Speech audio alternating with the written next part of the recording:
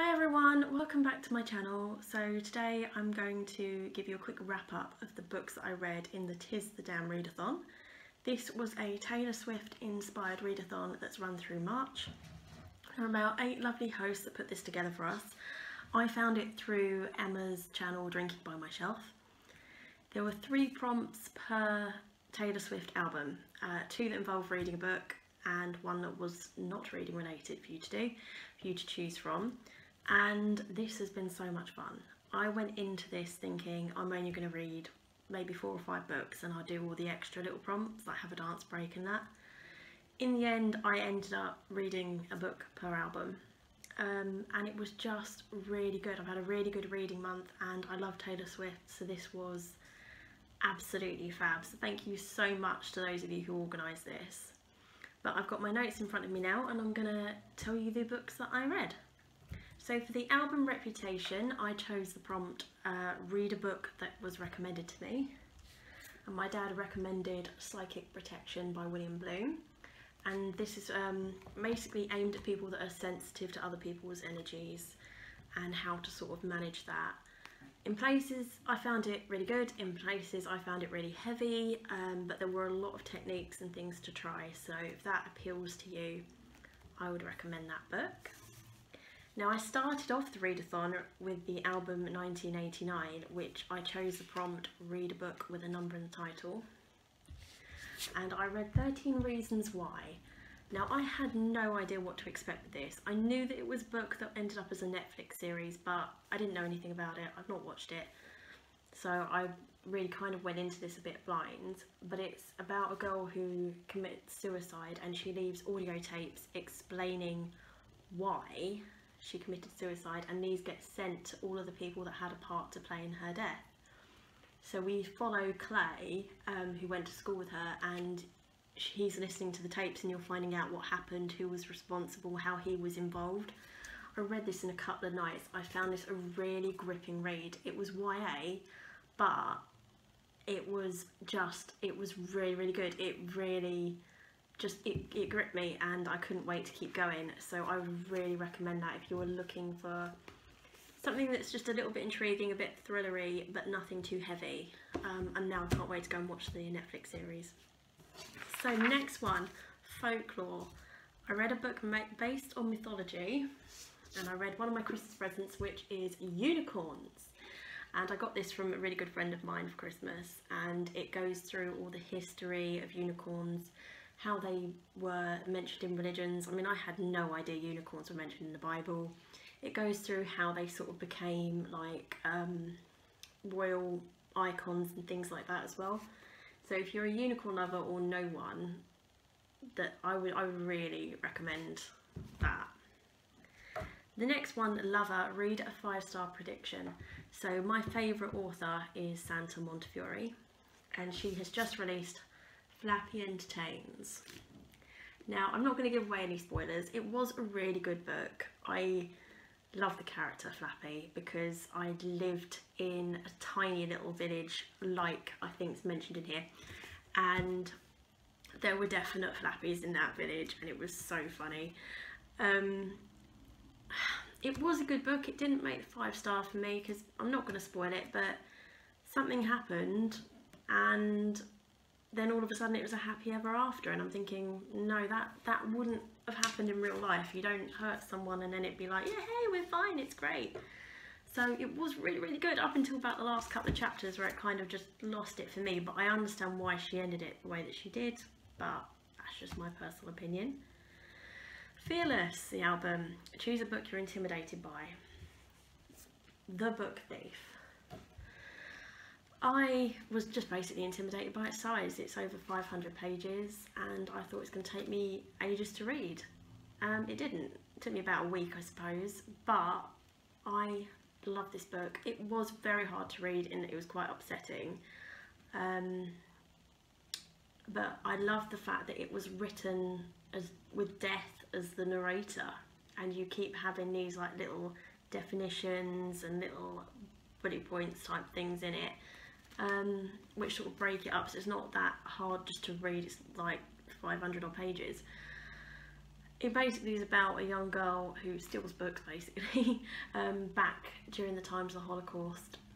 And yeah it's based in Nazi Germany and it was just I don't know I it was heavy. As I said it was really upsetting. Um, I was a bit astonished actually because this had been recommended to a teenager and I mean a young teenager like 13 um, from their school to read and I think if I'd have read this when I was 13, I would have been really, really upset and found it really, really hard. But I'm pleased that I read it. It was really good. It does give you a bit of an idea of what Nazi Germany was like for young children in Germany. So, yeah, it was hard but a good read.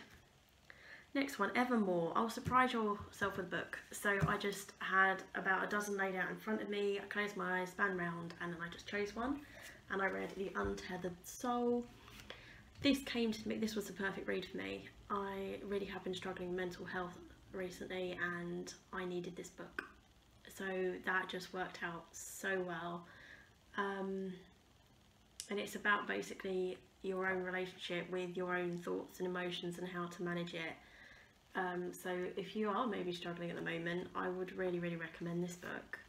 Um, it's only a couple of hundred pages, but it can get quite heavy in places, but it really made me think. So that that was a good book. Happy surprise. Red. Read a book with red on the cover. I read Switch Bitch by Roald Dahl. This book was really weird. So I didn't know until recently that he wrote adult books. I thought he'd just written the likes of Matilda, Charlie and the Chocolate Factory, all these amazing children's books I grew up with. And I came across this on the internet and I'm like, he wrote adult books. So I ordered myself a couple and this has red on the cover. So I was like, okay, I'll read this now. This contained four short stories that had been published in Playboy, I believe.